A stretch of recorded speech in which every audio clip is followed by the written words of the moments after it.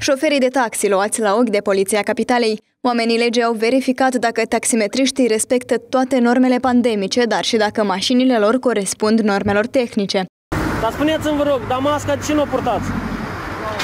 Cum? E cald? Și dacă e cald, dar pasagerul de ce nu poartă masca? A? În total au fost verificate 180 de taximetre înainte de ieșirea pe străzile capitalei, cât și în trafic. Urmarea măsurilor întreprinse de către forțele de ordine au fost depistate 54 de contravenții.